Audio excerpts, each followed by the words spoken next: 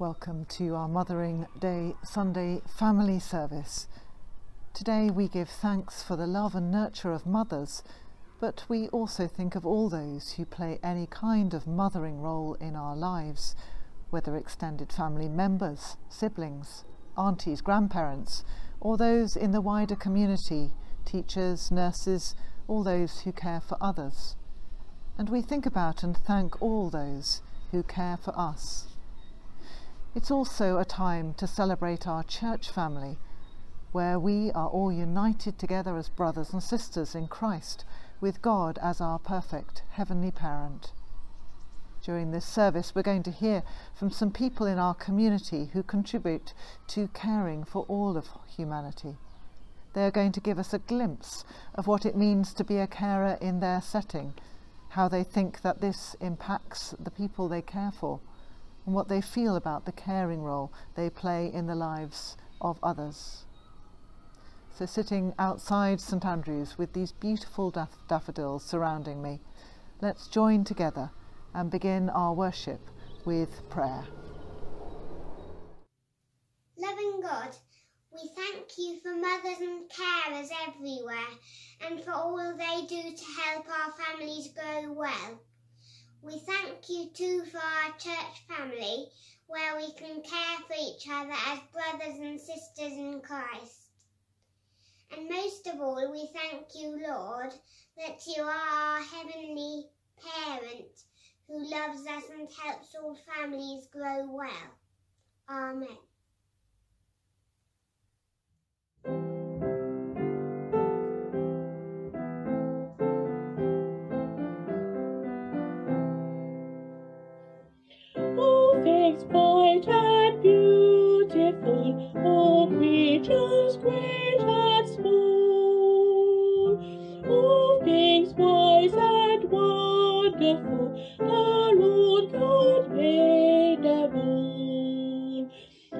Little flower that opens, each little bird that sings, He made them glowing colors, He made their tiny wings.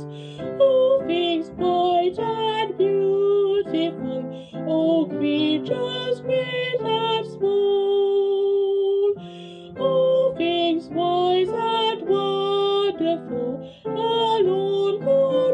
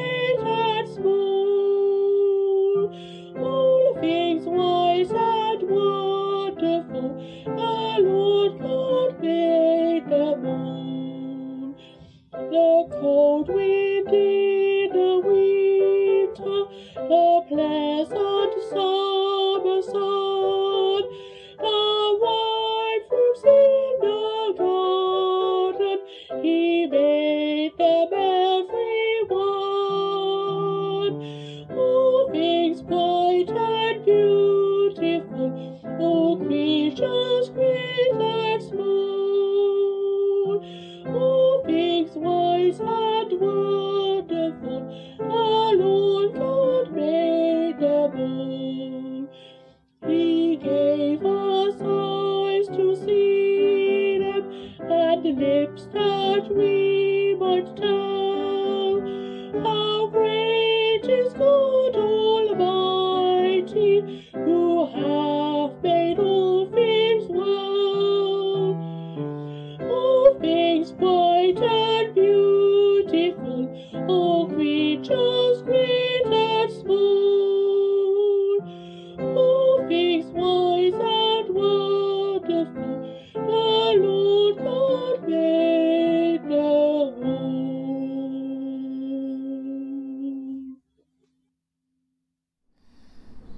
thinking about mothering and caring, I asked the children what their parents or carers meant for them. So I'm going to share some of their comments with you that they responded with.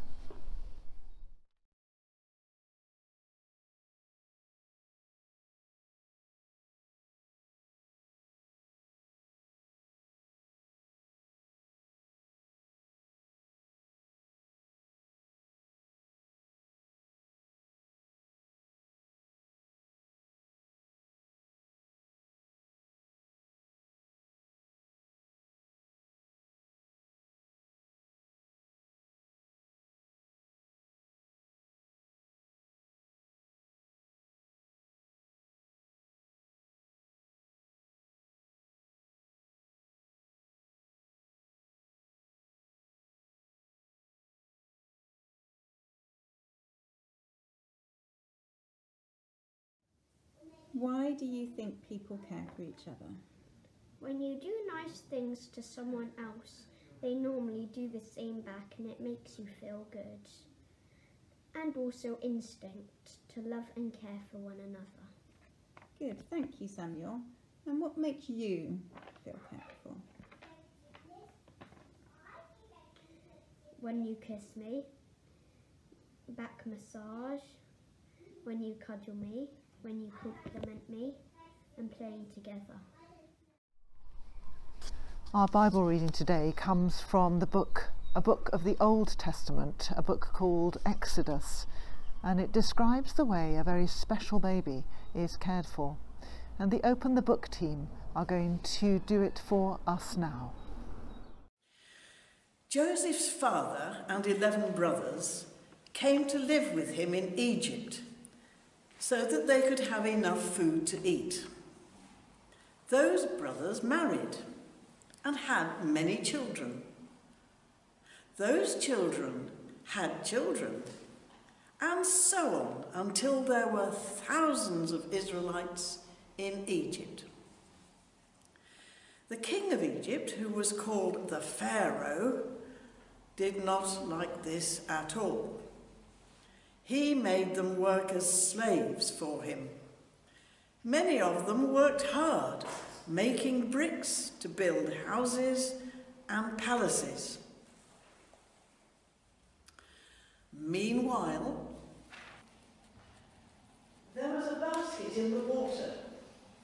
There was a baby in the basket. The baby's big sister was watching from the riverbank, and God was watching too. Why was the basket in the water? Why was the baby in the basket?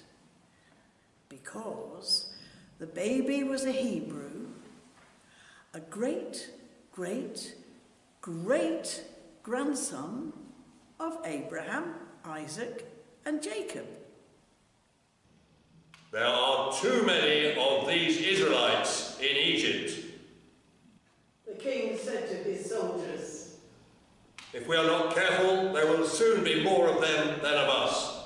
So, I want you to go and kill every baby Hebrew boy.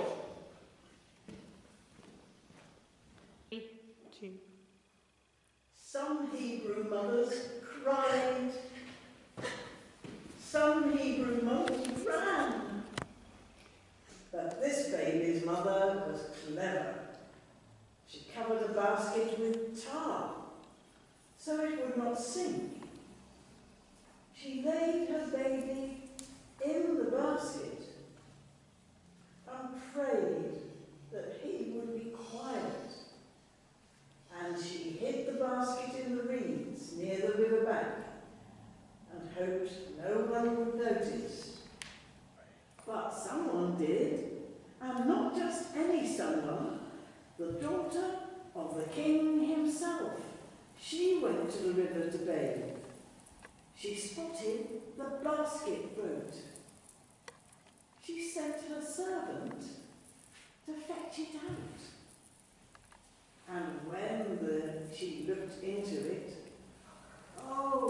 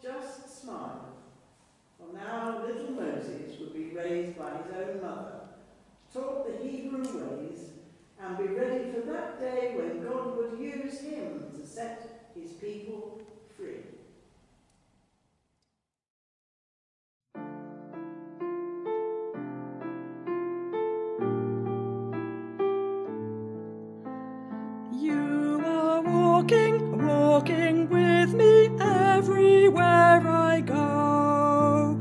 You're beside, above, behind me everywhere I go. If I climb the highest mountain, you are there before me. If I dive down deep, then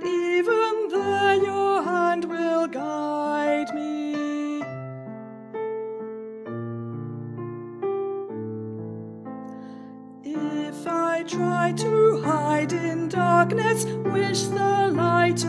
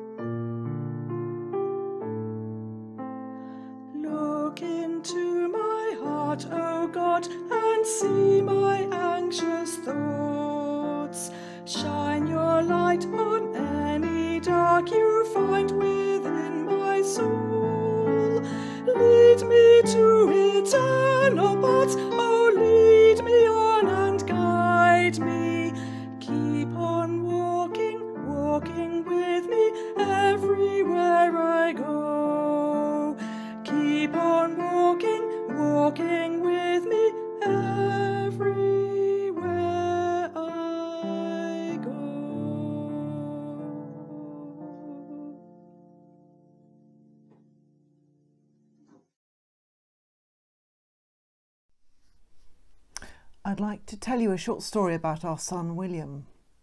One day, my husband Peter's telephone rang while William was in South Africa.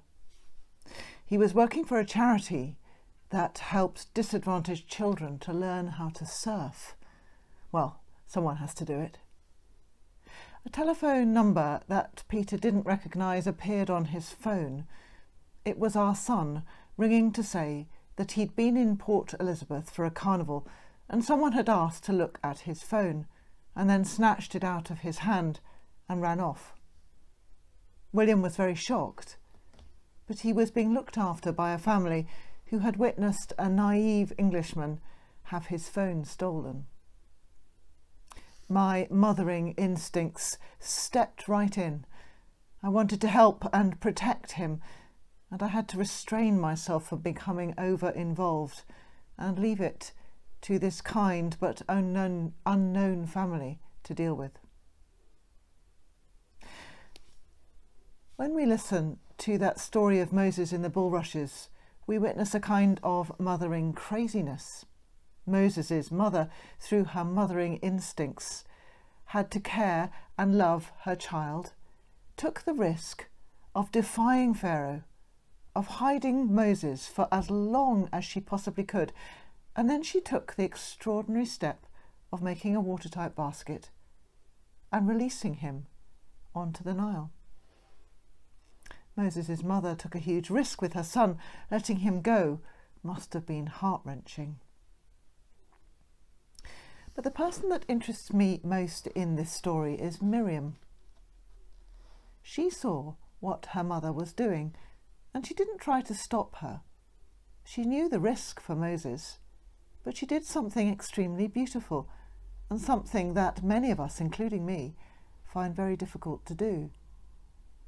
She just watched. She watched Moses drift down the Nile, and she watched again. I do wonder if she prayed. I think she would have done. Maybe she was having a deep conversation with God about the safety of Moses.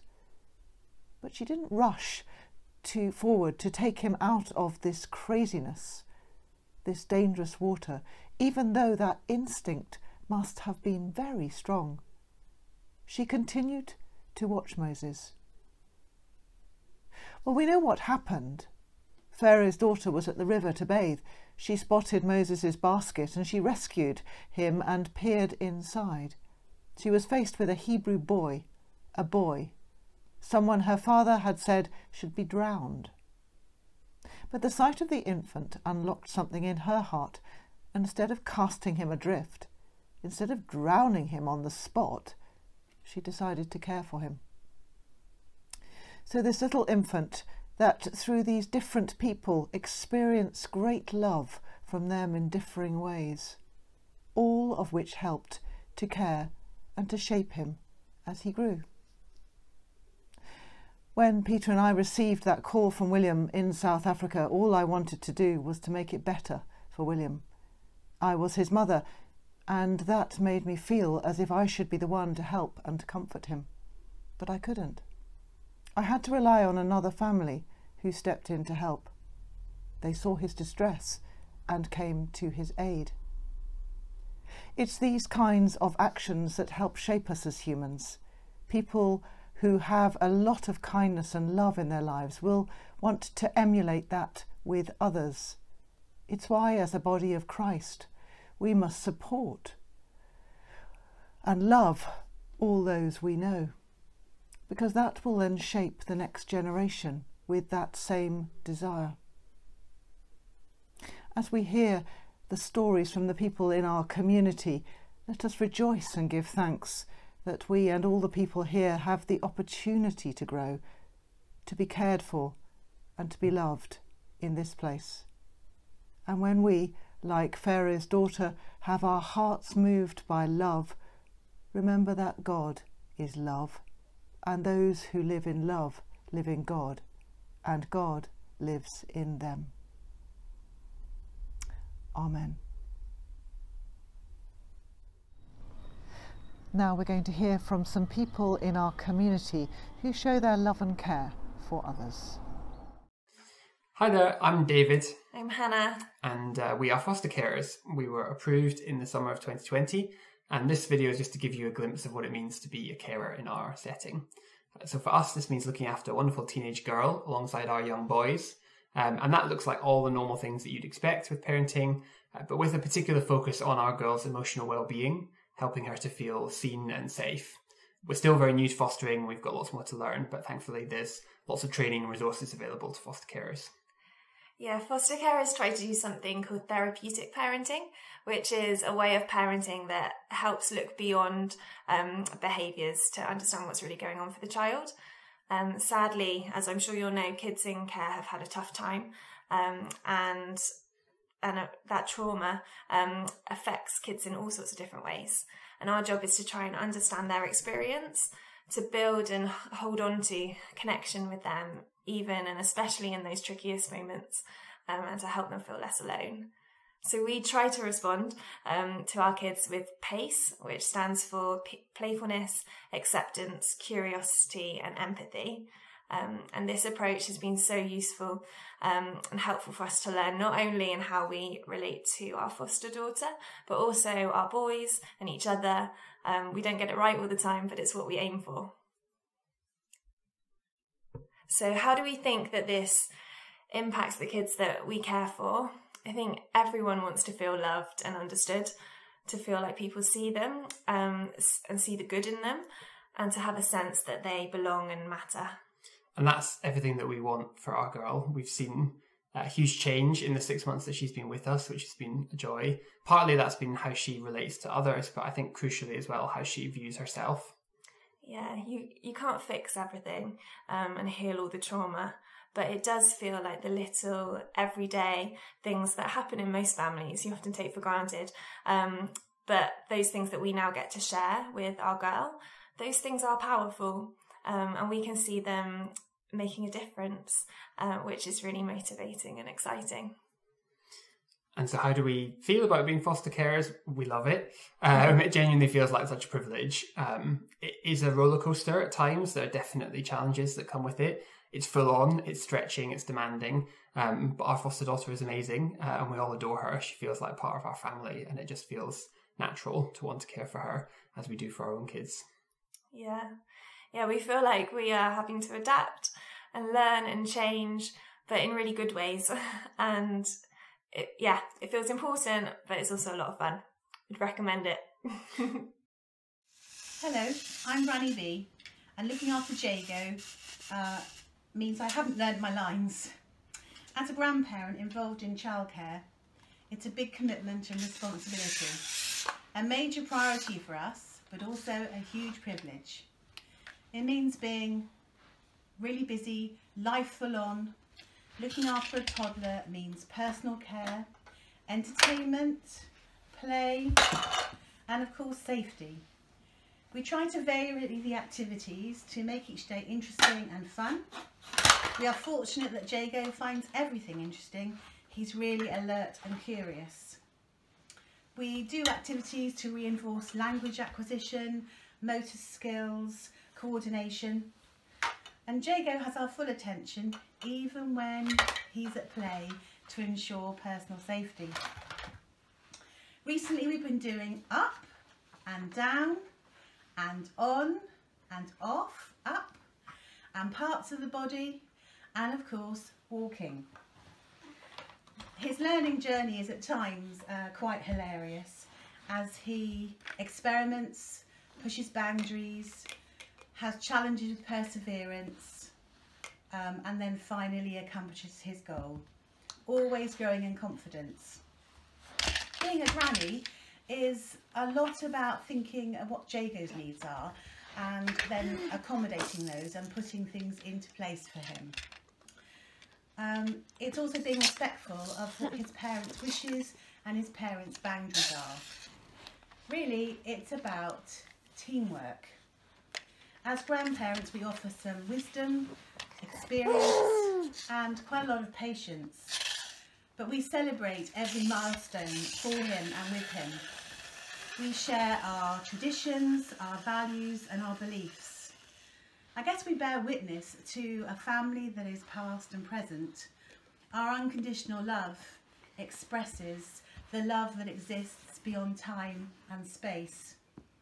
For us, Jago represents the future and hope. Caring for Jago is a great joy. He's created a new dimension in our family life. We're really grateful to be trusted by his parents as being part of the process with this new family, uh, watching them thrive and grow together. Both Tom and Hilary are grateful for what we do and express that. We have a shared caring experience. It's definitely brought us closer and we have much shared laughter and joy and a refreshed mutual respect and love because we're all interested in the future.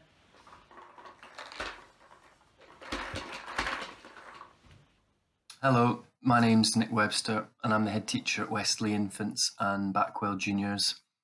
And uh, I care for lots of people in my role. Um, obviously, the children are at the very centre of everything that we do. uh, and their well-being and um, their learning is obviously a core focus for us.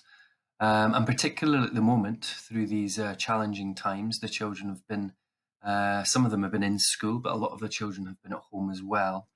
So our role has very much been um, looking after their um, mental health, um, looking after their well-being, while alongside that, um, maintaining as much of their uh, learning in the curriculum as possible.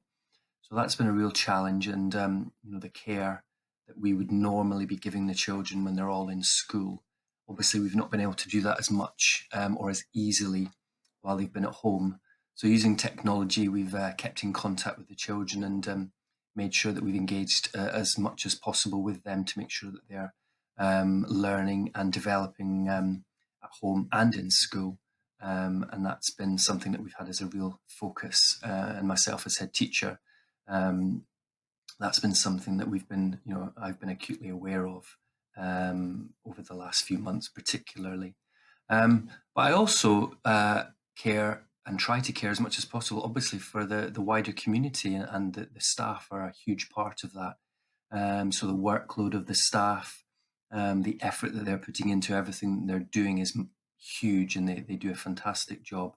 Um, so in my role, you know, need to be aware of the impact of um, of workload and um, various things that we're asking staff to do uh, and making sure that we're not overburdening them because the children's well-being has been hugely important but so has um, and um, making sure that we're not impacting too heavily upon that um, but also on parents as well because um, during this last lockdown phase um, this has been a real challenge for parents at home doing homeschooling so caring for their well-being as much as possible by offering support and um, We've offered places to some children in school who have perhaps been struggling at home for various reasons. So um, that caring role covers lots and lots of different people. Um, and as head teacher, I take it very, very seriously. It's a hugely uh, important position um, and one that I feel very privileged to, to have. So um, the care of all of those individual uh, groups of people are hugely important to me uh, and I feel very lucky to have the, the, the, team around me to help me to, to look after all of them. Hi, my name's Jen and I'm a nurse. I work on the nurse bank at the BRI hospital and I work in a variety of settings. So I work in recovery, waking up patients from their operation. I work in general intensive care, caring for patients who are in multi-organ failure, and more recently I've been looking after, well, not looking after, but vaccinating um, staff for COVID. So um, my job is quite varied, which I love.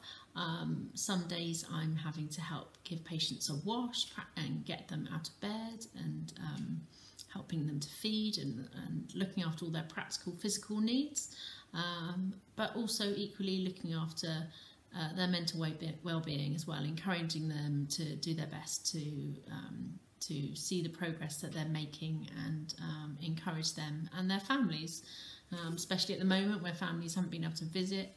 It's really important that we have really good communication with them and help them feel as involved as they can be. Um, sometimes we send them pictures to show how patients are doing and um, yeah, to encourage both the patient and the families that they're doing well. Um, uh, so yeah, my job involves looking after the practical things, but also trying to support um, the mental health side of things as well.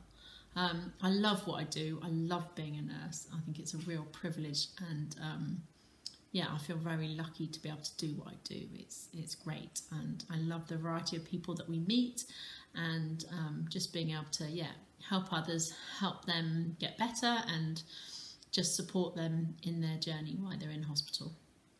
And yeah, it's a it's a real really great job, um, and I hope that I have a positive impact. I hope I brighten people's day and um, just encourage them while they're in hospital, particularly while they can't see family and friends. Um, but yeah, it's a great job. I love it.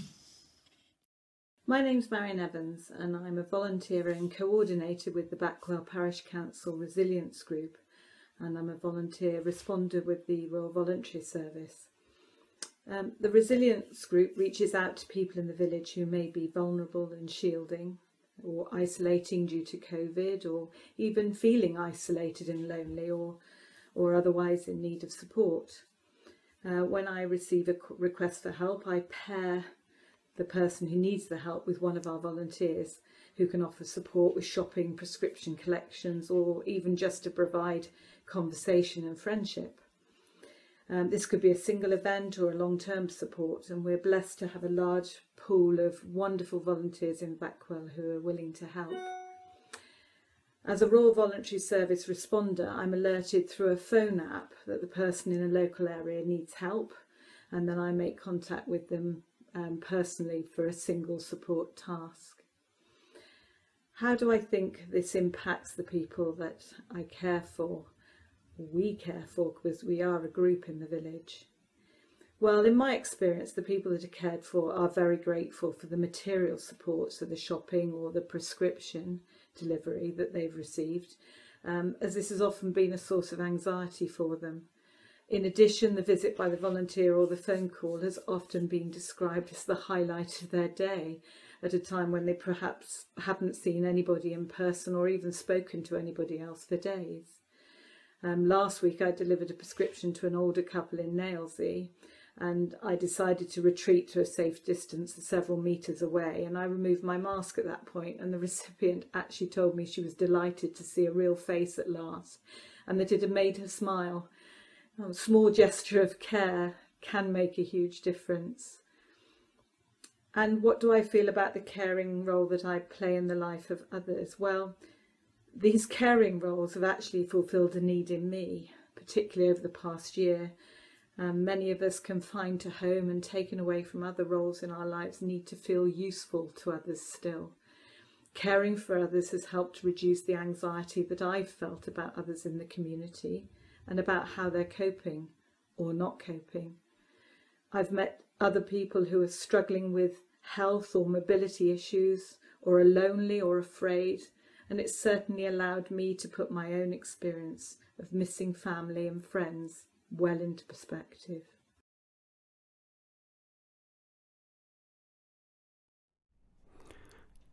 Today, the response to loving God is Hear Our Prayer. Let us pray.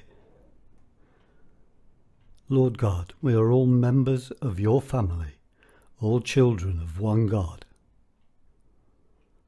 Father, on this Mothering Sunday, we thank you for all mothers and grandparents, and especially our own, for their care and patience and love, for the prayers they offer, the advice they give, and the example they set. We pray also for those who foster children, for the comfort and care they provide, and the security they give. Thank you, Lord. Lord Jesus, you called us to be a caring church, reflecting in our lives your infinite care for us, your children. Help us to fulfill our calling and to care for one another in an unselfish and loving way, and to care for the world around us. Father, we pray for your world, remembering all the places where there is war and trouble. We pray for the people of Yemen, Syria, the Democratic Republic of Congo, Iran and Iraq. We give thanks for the work and care of the doctors and nurses who tend the injured and provide comfort for those in distress. Loving God, hear our prayer. In our daily life, help us never to forget the power of love. May love motivate our care for our neighbourhoods and those around us. We remember all those who are lonely or living on their own. Thank you for those who have stepped forward to provide support and help in these difficult times, and those who coordinate these groups.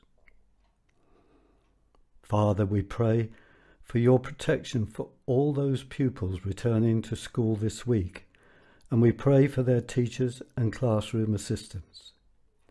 We thank you for their care and dedication and the support they have given to the pupils and their families during the period of lockdown. Father, give them strength and the patience they need. Loving God, hear our prayer. We bring before you, Lord, all those who are sick or in trouble, and those who care for them. In the time of quiet, we think for, of anyone known to us who is sick or in need of our prayers.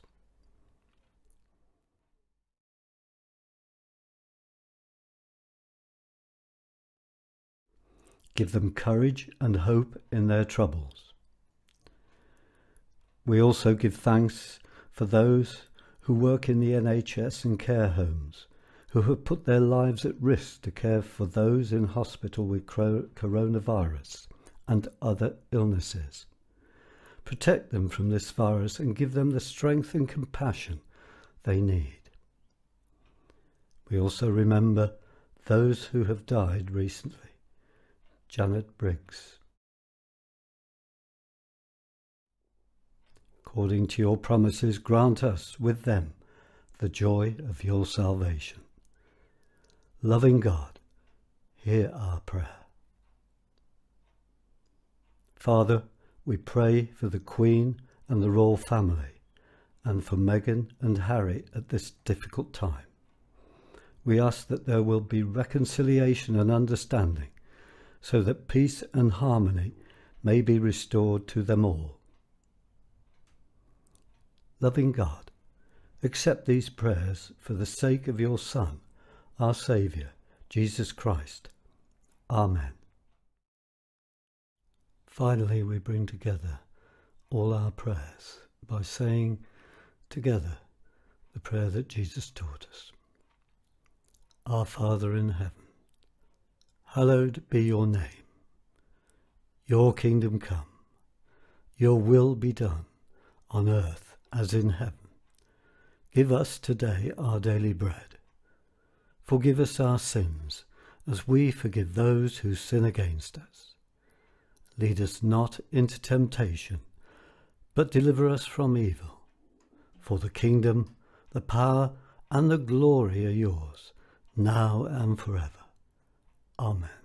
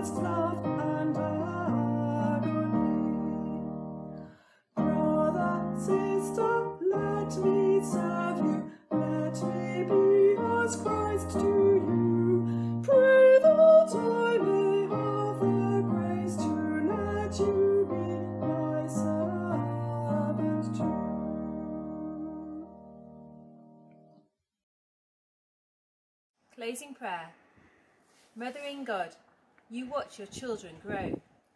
And you let us go. Mothering God, you teach us what is true. And you let us go. Mothering God, you show us what is just.